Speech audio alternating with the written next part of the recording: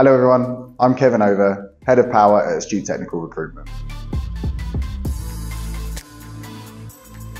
Today, I'd like to address a pressing issue that is affecting the UK job market, but also share some insights that are unique to the power generation sector. According to recent data from Broadbean Technology, the UK has seen a 3% decline in new jobs and a staggering 27% drop in job applications over the past month. This paints a concerning picture for employers across various industries. However, it's crucial to note that these statistics don't tell the whole story, especially when it comes to power generation. At Astute, we've observed a different trend. While other sectors are grappling with the decline, we're facing a surge in jobs, but still suffer with talent shortages. This persistent need for talent in our sector has led us to consider alternative staffing solutions, and that's where contract recruitment comes into play. Contract recruitment offers a multitude of benefits. For starters, contractors can be brought on board with short notice periods.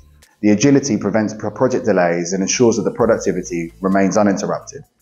Additionally, contractors bring specialised skill sets to the table. Their targeted approach to problem solving makes them invaluable assets, especially in an industry that's evolving rapidly as ours. So, while the broader UK market may be facing challenges, the power generation sector is clearly bucking the trend. It's more important than ever for businesses to invest in sourcing and retaining the right talent, and contract recruitment can very well be the key to navigating these shortages. Thank you for taking the time to listen.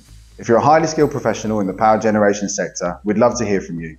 And if you're an employer struggling to find the right talent, let's talk about how Astute can help you meet your staffing needs. In the meantime, click the link in the comments to read the blog.